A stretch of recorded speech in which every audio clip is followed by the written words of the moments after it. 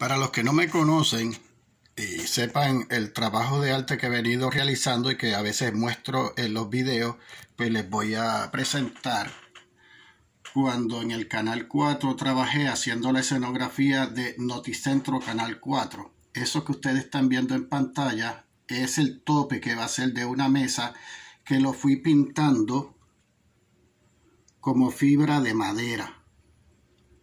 Así quedó. Ahora vamos a la próxima foto. Esta es una de las columnas. Aquí le pinto pino, fibra de pino. Y aquí le pinto embulla. Luego de esto viene esta otra foto. Así quedó lo de pino y así quedó lo de embulla. Además, Vean aquí los pasos para crear la embulla. Ahí lo ven. Y así quedó la mesa terminada. Ahora vamos a ver la escenografía montada completa. Ahí ven, Noticentro Canal 4. Así quedó la escenografía montada. También pinté mármol. Eso es pintado. Ese carro es de foam y ese piso, esas losetas son pintadas por este servidor. Nos llegaba, me llegaba este trabajo de madera y había que hacerlo como ladrillo.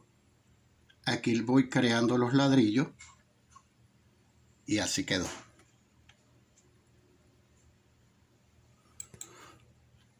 Estos trabajos son de foam, foam court, colcho blanco.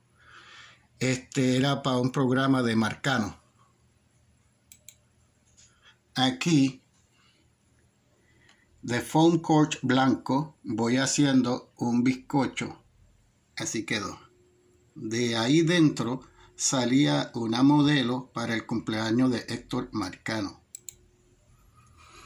Aquí pueden observar este es falso, este, este es falso, el segundo, el segundo es falso y el serrucho es plástico, todo es falso. Eh, trucos que hice en escenografía. Aquí parte de los, nosotros decíamos perros, pero son este murales con ruedas para ponerlo en los diferentes sitios. Aquí me ven parte del trabajo que hice como escenógrafo en el Canal 4 Televicentro de Puerto Rico. Y de aquí fue que surgió, ahí eh, hice un sponging.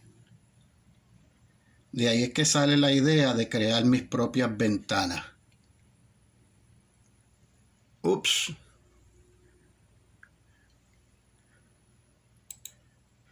Y esto fue una escenografía que hicimos para Navidad en el 2000 uno. Así que este, hasta aquí los dejo porque hubo más. Ventanas, etcétera. Pero hasta aquí los dejo. Francisco Rivera, Frima.